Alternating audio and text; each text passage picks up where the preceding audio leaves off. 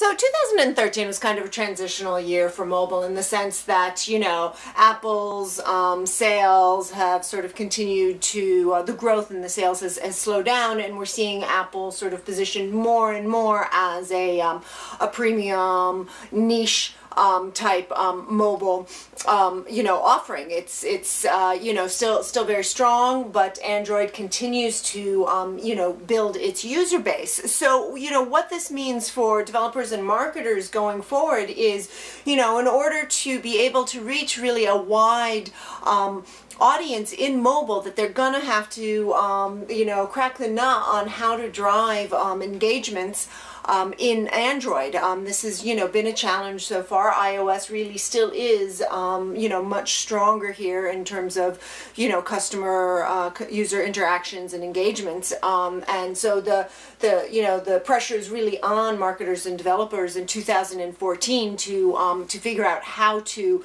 uh, leverage um, Android effectively to, to drive these, uh, you know, types of engagements.